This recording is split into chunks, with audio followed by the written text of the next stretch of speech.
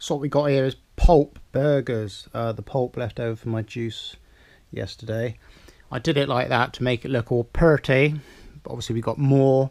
Um, one, two, six burgers.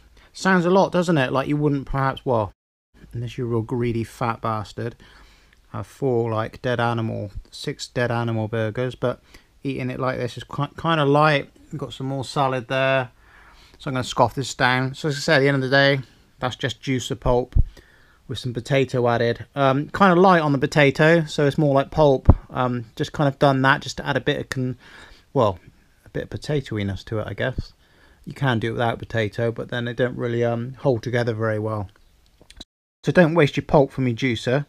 Put it in the fridge. Save it. Um, yeah, you don't want to leave it too long. A couple of days, I guess. Make some burgers out of it. I've made spinach ones before. I put like paprika with them and extra seasoning and stuff. But these are just pretty basic.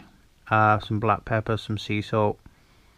Um, oh, they've got ginger and lemon in them, obviously from the juice. So they have they got a bit of a zing to them, which is kind of cool. Um, with the jalapeno sauce and the salad and stuff, they taste pretty epic. So there you go. Thanks for watching. I thought I'd share that.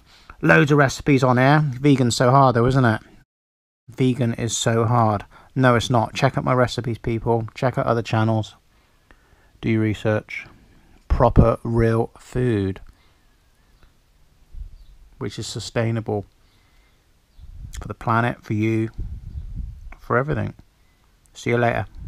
Be good to yourself. Look after your kids too, man. The future, the kids.